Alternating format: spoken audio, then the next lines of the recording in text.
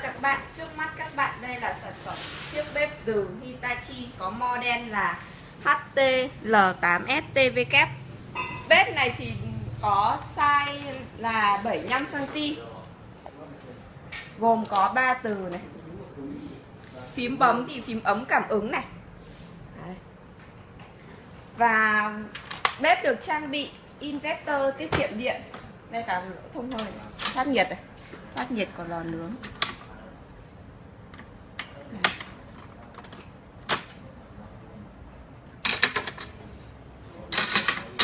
Bếp thì có lò nướng này. Đây là cái chiếc lò nướng. Khá to. Dùng à, để nướng cá, nướng bánh Bánh mì buổi sáng đấy. Nướng cánh gà.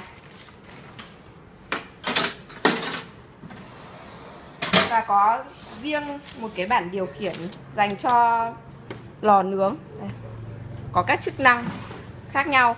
Những cái uh, chữ trên đây thì đã được uh, nhân viên của hàng Nhật 23 sẽ dịch ra tiếng Việt để các bạn dễ sử dụng.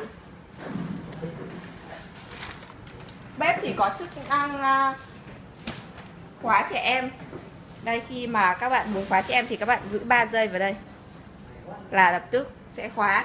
Và bếp thì có chức năng là chống cháy không, khi mà không có nồi trên bếp thì à, bếp sẽ báo nháy đèn đỏ. Và mặt kính thì là mặt kính ceramic chịu nhiệt. Khi mà các bạn, nếu mà không muốn cái à, bếp của chúng ta xước thì có thể mua thêm cái miếng lót bếp từ này để dán lên mặt bếp.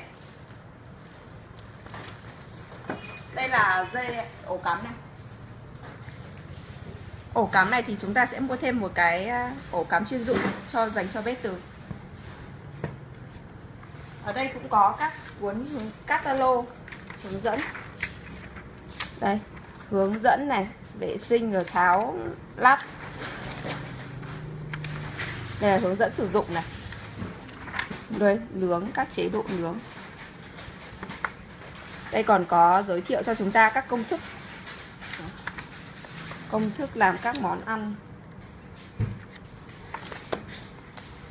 Còn đây là cuốn à, để hướng dẫn lắp đặt này. Rất là chi tiết. Từng một cái chi tiết một của nhà máy cung cấp cho chúng ta. Bếp này thì à, rất là an toàn, bởi vì à, nó không đốt cháy không khí nó sẽ sẽ um, đun nấu rất là nhanh tốc độ đun nấu nhanh hơn bếp ga so với bếp ga. Và